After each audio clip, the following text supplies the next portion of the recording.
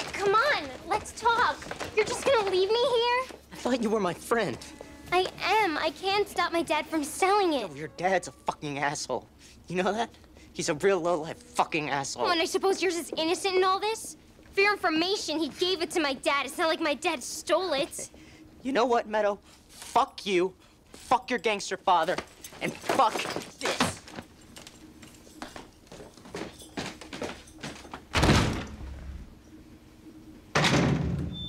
Welcome everyone to Verbum Dei High School's Cabaret Night.